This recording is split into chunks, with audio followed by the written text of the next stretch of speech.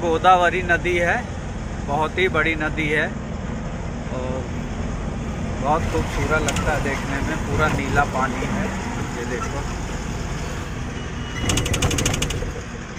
तो good morning, स्वागत है आप सभी का हमारे आज के न्यू ब्लॉग में। तो फ्रेंड्स, आप लोग देख सकते हैं, मैं अभी सोया था, विशाखापट्टनम राजमुंदरी से पहले।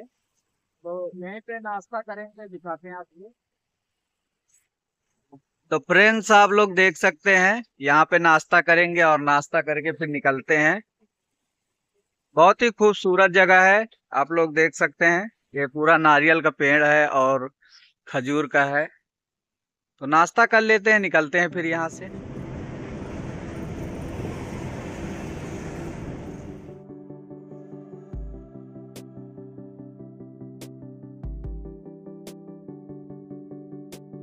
तो फ्रेंड्स आप लोग देख सकते हैं यहाँ पे खजूर का पेड़ है बहुत ज़्यादा और नारियल का। पूरा चारों तरफ़ हरा भरा आपको दिखाई देगा। और जो धान की फ़सल है, अभी खड़ी है यहाँ पे। और धान कटने के बाद फिर यहाँ पे धान लगाया जाएगा। क्योंकि यहाँ पे गेहूँ जो है तो होता नहीं है। केवल धान ही धान ही लगाते हैं। अभी ये हाईवे जो है हैदराबाद से विशाखापट्टनम और कोलकाता के लिए तो विशाखापट्टनम तक एक नंबर हाईवे बन गया है। थोड़ा विजयवाड़ा के पास वही विजयवाड़ा सिटी बाईपास 40-50 किलोमीटर खराब है रास्ता। बाकी हाईवे तो एक नंबर है। और भारत में बहुत ज़्यादा अभी हाईवे बन गए हैं तो अभी जो है ज़्यादा टाइम नहीं लगता है कहीं पहुँचना है। अगर पहले चार दिन, पाँच दिन लगता था तो अभी तीन दिन में गाड़ी पहुँच जाती है। तो फ्रेंड्स आप लोग देख सकते हैं, गोदावरी नदी है। बहुत ही बड़ी नदी है। और बहुत खूबसूरत लगता है देखने में। पूरा नीला पानी है। ये देखो।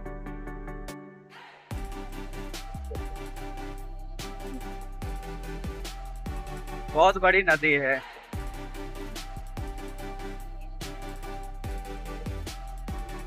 तो चलते हैं फ्रेंड्स आपको आगे दिखाएँ तो फ्रेंड्स आप लोग देख सकते हैं, राजमुंदरी से 80 किलोमीटर आगे राजस्थानी होटल है तो इसी में नहाएँगे और नहाने के बाद, क्योंकि दो तीन दिन हो गया है, नहाया नहीं। अब नहाने के बाद फिर यहाँ से निकलेंगे। विशाखापट्टनम का लोड था अपना, विशाखापट्टनम में अनलोड होगा। तो चलते हैं फ्रेंड्स नहा लेते हैं। ये पानी का टंकी बना हुआ है यहाँ पे। तो फ्रेंड्स आप लोग देख सकते हैं, अभी यहाँ होटल में रोका था तो नहा लिया हूँ और खाना खा लिया। तो अभी यहाँ से निकलना है विशाखापट्टनम के लिए। चलते हैं आपको, दिखाते हैं आगे। तो फ्रेंड्स आप लोग देख सकते हैं, मैं अभी विशाखापट्टनम से 50 किलोमीटर पहले हूँ और बहुत ही ज़ोरदार का बारिश होने लगा है।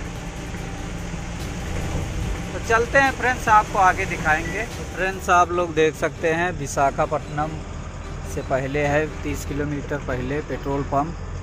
तो इसी में डीजल डालेंगे, कंपनी का पंप है। आप लोग देख सकते हैं, बहुत बड़ा पंप है। तो डीजल डाल लेते हैं, फिर निकलेंगे यहाँ तो फ्रेंड्स, आप लोग देख सकते हैं, अभी मैं डीजल डाल के निकला हूँ। और कंपनी अपना यहाँ से 25 किलोमीटर है। तो चलते हैं, पहुँच के आपको दिखाते हैं। फ्रेंड्स, आप लोग देख सकते हैं, यहाँ से संदीप जाएँगे कोलकाता। और मैं जा रहा हूँ विशाखापट्टनम तो चलते हैं आपको दिखाते हैं। अभी यहाँ साइड में रोका था।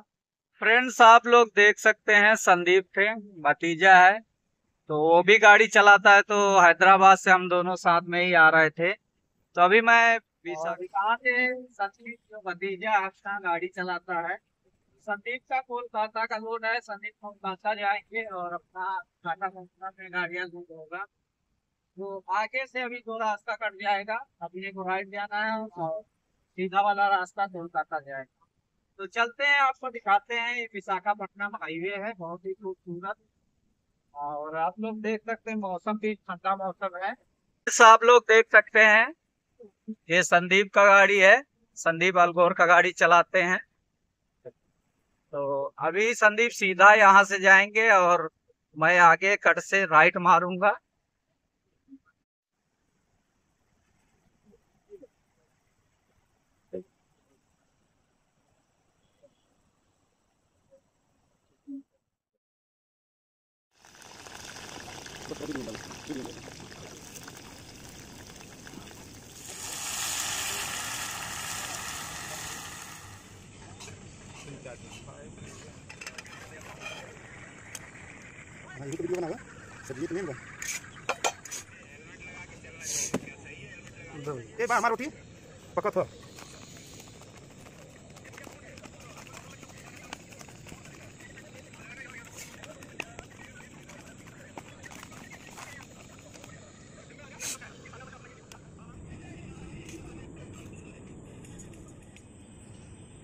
फ्रेंड्स खाना बन गया है अपना फैमिली और अभी खाना खा के सोएँगे पार्किंग में, फिर देखते हैं लोड मिलता है कि नहीं अपना.